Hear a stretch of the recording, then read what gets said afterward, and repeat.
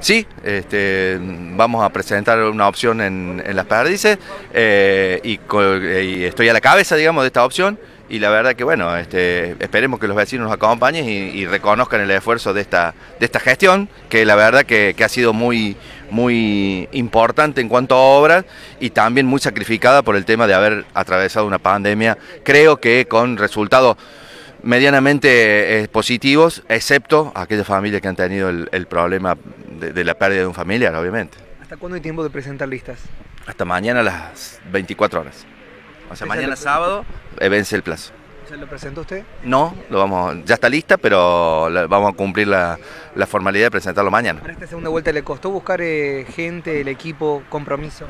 Y siempre es difícil, porque por ahí hablar de sumar gente para una lista siempre hay reticencias, pero cuando la vean este, se van a dar cuenta que es una, lista que representa a la sociedad de las perdices. Es, una lista donde hay profesionales, amas de casa, laburantes, empresarios, gente de, toda la comunidad de las perdices y gente que no viene de la política fundamentalmente. Así que estoy muy conforme con, con la lista que hemos conformado.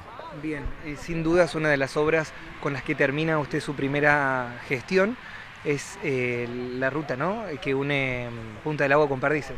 Sí, es una obra emblemática. Yo repasaba el otro día en una foto que tengo de archivo y, el primer Zoom que tuvimos fue en el mediados del 2020, empezamos a hablar de la obra de la Ruta 10 y estar a principio del 2023 concretándola, la verdad que es es, una, eh, eh, es, trascendental para las perdices y dar vuelta a la página de 60 años de historia.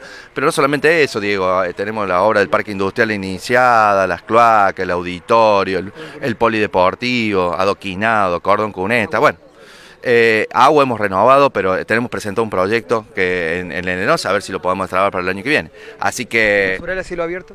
También este año va a ser mucho el trabajo en basura, tenemos la intención de invertir mucho en basura. Este es uno de los temas. ¿Y viviendas? ¿Qué pasó con este comentario de esta vecina? ¿Qué, tiene para responder? ¿La va a atender la semana que viene? Nada, sí. Fue esta semana, yo no lo pude atender porque no tenía tiempo físico, digamos, y, pero lo vamos a aclarar la semana que viene. Los materiales para esa vivienda están comprados, la vivienda se va a hacer.